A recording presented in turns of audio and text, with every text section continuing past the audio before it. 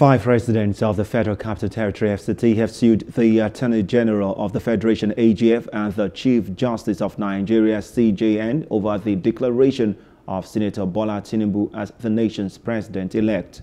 The plaintiffs in the suit filed before the Federal High Court in Abuja on April 28, 2023 over the Senator Tinubu failed to secure at least 25% of votes cast in the FCT.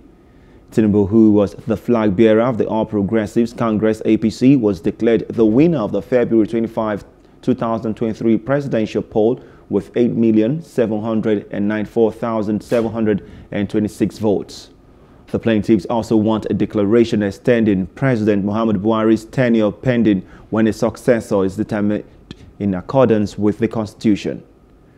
Meanwhile, the court fixes May 24 for ruling on suit by FCT residents seeking to stop May 29 inauguration of Tinubu. The residents of Abuja will not be discriminated against any other state we associated for them, as uh, INEC chairman and, uh, uh, said that, that, he did in order to make uh, uh, a certain person qualify as winner. So we convince the court those are personal rights, those are personal rights, and uh, the, the, the plaintiffs are invested with the right to come to court and then uh, on jurisdiction we did uh, uh, let the court know that it has power of judicial review under section 66b of the constitution and we are looking at the conduct of INEC chairman as that of any public officer. So the question is whether it's constitutional or not.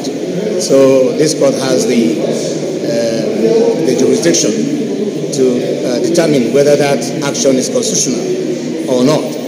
And then uh, we also uh, let the court know that uh, being the federal high court has exclusive jurisdiction over the determination of such issue. So there's no question of jurisdiction there. Then uh, on whether or not the matter is pending at the Presidential Election Tribunal, we let the court know that nothing happening there can rob us of our constitutional right to fair hearing.